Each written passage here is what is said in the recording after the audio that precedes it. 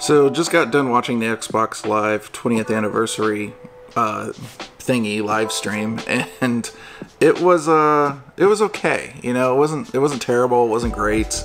It was just sort of reminisce on what they've done and all that for the most part. They did announce like four major things. They had some cool clips where they showed like people that met on Xbox uh, Live playing games like Halo, I think it was, or no, it was Gears of War that they met on, and then they met in real life.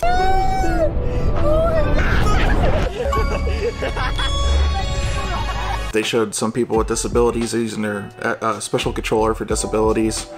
And they talked about on December 13th, there's going to be six part documentary series on the entire 20 years of developing for Xbox. So everything from back in 2001 up to current day. So I'm kind of interested in seeing that, seeing I like video game stuff. If you hear like weird stuff in the background, by the way, we have a hell of a rainstorm right now, and it's just like heavy winds blowing, blasting rain up against a building right now, so that's why that's happening. So this documentary is supposed to go through the last 20 years, and I'm really, I'm really interested to see that because I'm somebody that the Xbox does hold some special weight with me. Um, I was in the army when the Xbox came out in 2001. Actually, I was not quite in yet. I was in the army 2002. Then I got an Xbox. And Halo was a big deal. You know, Halo was a really big deal, especially playing split screen with your friends, getting four friends together and playing on one screen, getting that cardboard divider out so nobody could screen cheat and stuff. That was that was interesting. Um, and then eventually I got deployed to Iraq. And when I got deployed to Iraq, um, I took my Xbox and like a little screen with me and like a you know like one of those 12 volt like to AC inverters that they you can hook up to like a truck or something. I hooked it up to my Humvee that I was assigned, and we would just open the back tailgate and just start playing like games like Dead Alive 3, Halo, stuff like that. And eventually that snowballed into this thing where other people that were on convoys going to Baghdad ended up getting Xboxes themselves and a bunch of like small 13 inch screen like old crt screens and stuff like that.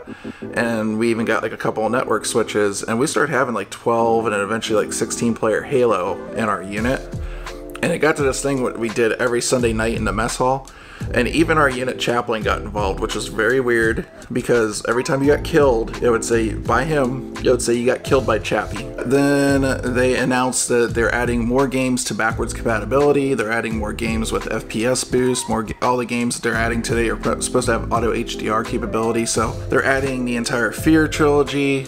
They're adding the entire Max Payne trilogy. It's too bad that they didn't get that GTA trilogy. It was on the original Xbox on there before this game came out. God, that GTA trilogy is so disappointing, isn't it? I, I was looking forward to it. I was gonna get it, and it was just...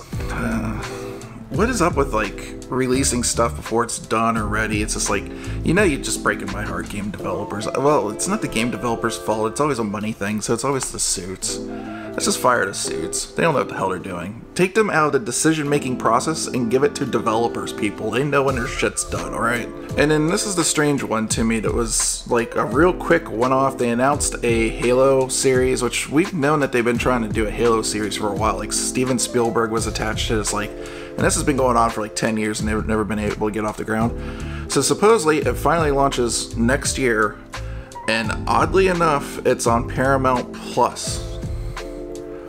So, are, is Game Pass going to give us subscriptions to Paramount Plus eventually? Did that happen already? I don't actually know. I'm like, I'm just kind of curious as to why they're attaching Paramount Plus to this. It's just, it's it's very weird. And my question is, does that mean that there's certain people that are X that own the Xbox that have Game Pass not getting this? Are they adding this to Game Pass as well?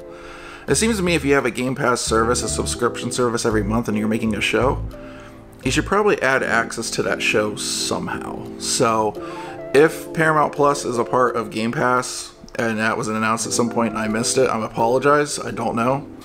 Um, but hopefully the show's good. You know, they didn't really show much. It was just a quick, you know, trailer of him putting stuff on and scars. So.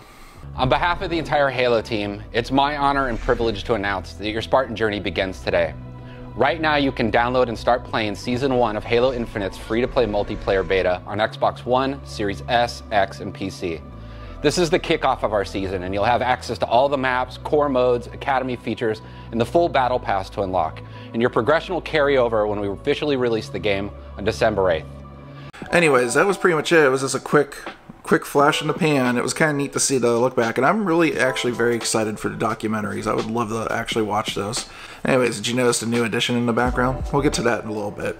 Anyways, if you guys like this video, hmm, thumbs up. Thumb, well, you can't dislike now because, you know, things. How do you guys feel about the dislikes going away? I mean, I just don't care. I just want to go on the internet and just make videos about video games and, and, get this thing that I have, this love of video games out to the internet. I don't really care about all that stuff.